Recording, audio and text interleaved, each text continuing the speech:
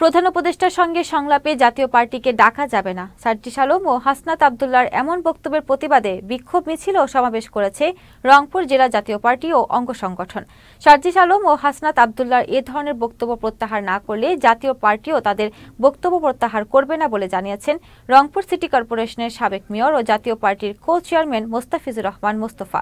মঙ্গলবার রাতে রংপুর জাতীয় পার্টি কার্যালয়ে গণমাধ্যম কর্মীদের সাথে মতবিনিময়কালে তিনি একথা বলেন। এর আগে নগরীতে বিক্ষোভ মিছিল বের করে জাতীয় পার্টির অঙ্গ সহযোগী সংগঠন। এর আগে চোদ্দই অক্টোবর দলের কর্মী সভায় জি এম কাদেরের উপস্থিতিতে রংপুরের সার্জিস আলম ও হাসনাত আবদুল্লাহকে অবাঞ্ছিত ঘোষণা করেন রংপুরের সাবেক মেয়র মোস্তাফিজুর রহমান মোস্তফা। জাতীয় পার্টি আমাদের রক্তের বিনিময় হলো, আমরা কাউকে ছাড় দেবো না। এটার একটাই মাত্র সমাধান সার্জিস এবং হাসনাত আবদুল্লাহ।